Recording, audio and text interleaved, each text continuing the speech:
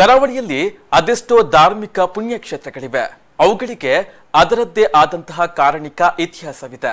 ಅಂತಹ ಪುರಾಣ ಪ್ರಸಿದ್ಧ ಕ್ಷೇತ್ರ ದಕ್ಷಿಣ ಕನ್ನಡ ಜಿಲ್ಲೆಯ ಸುಳ್ಯ ತಾಲೂಕಿನ ಎಣ್ಮೂರು ಗ್ರಾಮದ ಕೆಮ್ಮಲೆ ಹೇಮಳದಲ್ಲಿರುವಂತಹ ಪುರಾತನವಾದ ನಾಗಬ್ರಹ್ಮ ದೇವಸ್ಥಾನ, ಕೆಮ್ಮಲೆ ಬ್ರಹ್ಮರ ಮೂಲಸ್ಥಾನ ಹಾಗೂ ಉಳ್ಳಾಕುಲು ಪರಿವಾರ ದೈವಗಳ ದೈವಸ್ಥಾನ ಈ ಪುಣ್ಯಕ್ಷೇತ್ರದಲ್ಲಿ ಸಂಭ್ರಮದ ಬ್ರಹ್ಮಕಲಶೋತ್ಸವ ನಡೆದಿದ್ದು, ಕ್ಷೇತ್ರವೆಲ್ಲ ವರ್ಣರಂಜಿತ, ವಿದ್ಯುತ್ ದೀಪ ಅಲಂಕಾರಗಳಿಂದ ಜಗಮಗಿಸ್ತಾ ಇತ್ತು.